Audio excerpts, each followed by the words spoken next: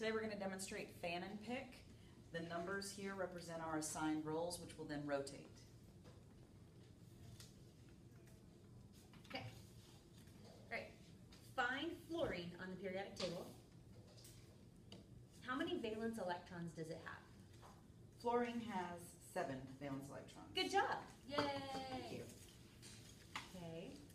Will it gain or lose electrons? So fluorine has seven valence electrons. It should gain. Awesome. Electrons. How many? It should gain one. Awesome. Good job. Okay. So what's fluorine's charge when it forms an ion? Hmm.